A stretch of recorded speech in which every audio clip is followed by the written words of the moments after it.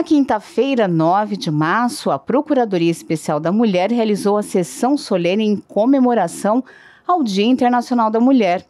O evento foi marcado por uma mesa predominantemente feminina, presidida pela Procuradora Especial da Mulher, a vereadora Vanessa de Jesus, do Republicanos, com participação das procuradoras adjuntas Márcia Tasquete, do Progressistas, Janete Rocha Pietá, do PT, Sandra Geleno, do Patriota, e das vereadoras Carlinda Tinoco, do Republicanos, Carol Ribeiro, do PSDB, e Karina Soutur, do PSD.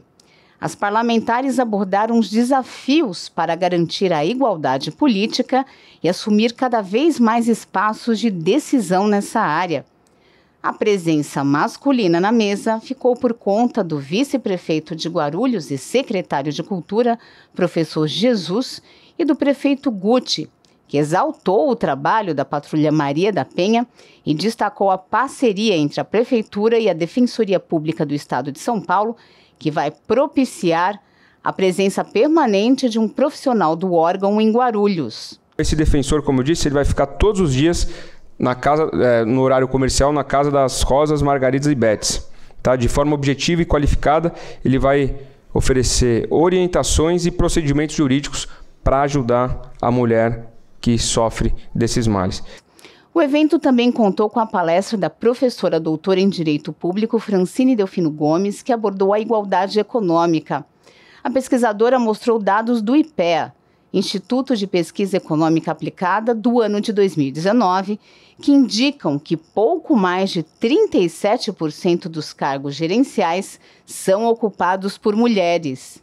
É um grande desafio decorrente do cenário que nós temos hoje, com as mulheres numa posição ainda é, do lar, é, que não são competentes. A gente precisa primeiro repaginar a nossa visão da mulher na sociedade e que todos somos iguais, todos somos seres humanos. A partir desse momento é que as mulheres conseguirão ser respeitadas como merecem. Para Vanessa de Jesus, o debate e a luta por mais participação política e econômica das mulheres tem de ser constante. Nós sabemos ainda da luta da mulher para ocupar não o espaço de outras pessoas, mas o seu espaço. Né? E se nós não continuarmos falando sobre isso, do quanto a mulher ainda é descartada no mercado de trabalho, no sentido de que muitas vezes a oportunidade é, não depende de força física nem de altura, mas o simples fato de ser mulher a impede de ocupar uma vaga, isso é muito triste. Nós vamos continuar aqui lutando. E em relação às questões políticas, a ascensão da mulher na política, nós queremos muito que com o passar do tempo, esse número não só na Câmara de Guarulhos, mas nas câmaras de todo o Brasil, ele aumente, porque a mulher tem o seu papel e a sua importância nessa sociedade é, que é tão rápida, que é tão veloz, e nós estamos aqui para acompanhar todos os movimentos.